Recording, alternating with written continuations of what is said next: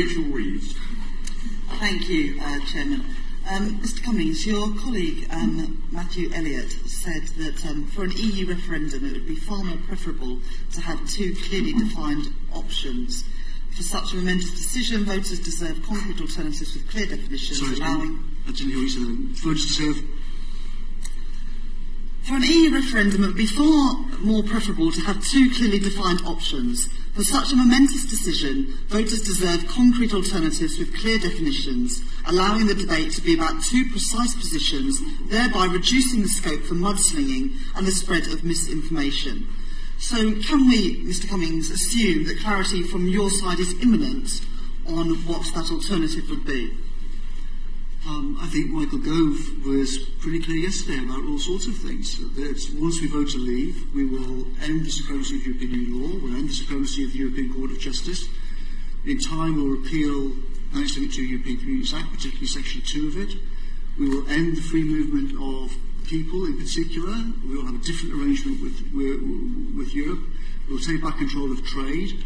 We will end the the menace of the Charter of Fundamental Rights, which gives the ECJ power to rule on practically anything that they want to from now on.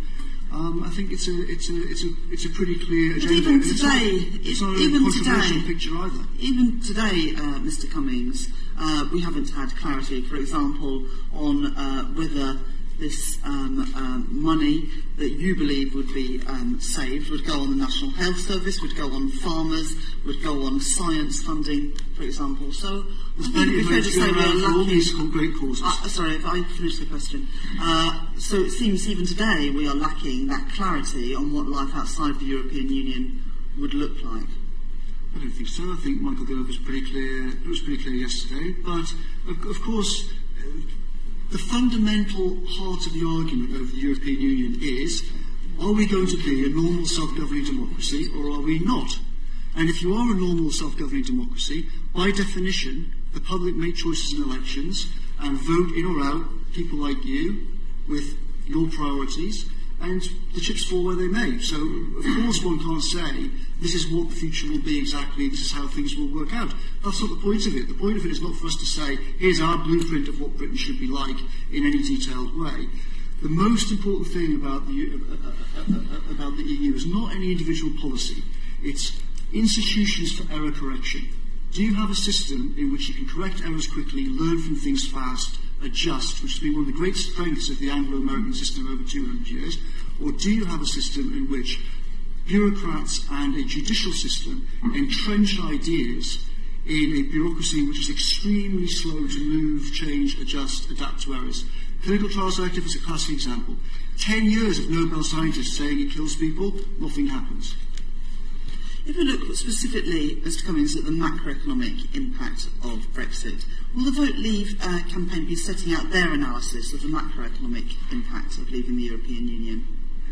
We will, but we won't be indulging in publishing any of the snake oil um, quote models unquote that the Treasury published. No, it's, it's, it's, it's, it's the work of charlatans.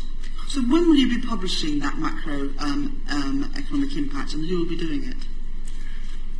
We'll be publishing all sorts of things on the macroeconomic impact of leaving, but we won't be publishing these spurious numbers like 4,300. I've heard Mr Cummings what you won't be publishing, but what will you be publishing? We're publishing all sorts of analysis about international trade and how we think how, how we think things will improve. Um, macroeconomic uh, impact assessment is not just about international trade, it's about GDP, inflation, the currency, uh, productivity, all those range of issues. So what I'm asking, Mr Cummings, and if the answer is no, you could just tell us that. Will the Vote Leave um, campaign be setting out their analysis of the macroeconomic impact of Brexit? we will set out our analysis of the macroeconomic impact of Brexit, but it won't look like the spurious documents. I've heard, Mr Cummings, what you won't be doing. What I'm asking is what will you be publishing? I think? I've answered the question. Of course, we will be publishing that. And I also asked uh, Mr Cummings who will be doing that analysis for you. You'll find out when we publish.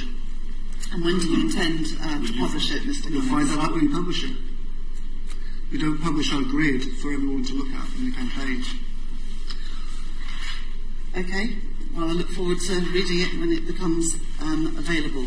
Vote Leave said in um, recently that um, it would be exposing the false claims and scaremongering of Bank of England Governor Mark Carney and Deputy Governor Sir John um, Cunliffe. This seems like as good an opportunity uh, as any to do that.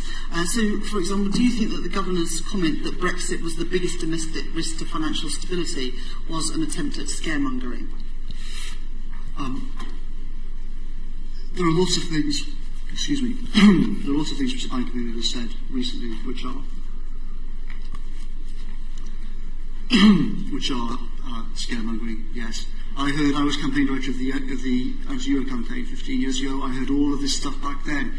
the skies will fall, there'll be plagues. I'm not asking about something that happened 15 years ago, Mr Cummings. Um, I'm asking about the recent comments that um, Bank of England Mark Carney made at this committee uh, that Brexit was the biggest domestic risk to financial stability. Do you believe that those comments from the Bank of England governor were scaremongering? I do not think they were wise. Do you believe they are scaremongering? I've just said, I'll use my own words. I don't think they're wise. I don't think they're accurate. I, I think that the Governor of the Bank of England has made all sorts of mistakes in how he's intervened in this debate. But I also think he's entitled to, to, to, to share his view with people. Of course, other distinguished figures, such as Mervyn King, have given a very different picture of what they think on these issues. The reason, uh, Mr Cummings, that I use the word scaremongering is because it's what the word that Vote Leave has used previously, uh, and you said that you would be exposing the false claims and scaremongering of Bank of England Governor Mark Carney and his deputy, Sir John Cunliffe. So have you changed your We will mind? Now certainly be think it's not exposing, we'll scaremongering? be, we'll be exposing all scaremongering as, as well as effectively as we can do in the next few weeks. So I'll ask again, was when uh, the Bank of England governor said to this committee that Brexit was the biggest domestic risk to financial stability, do you think that was scaremongering? I do think it's scaremongering. Thank you very much.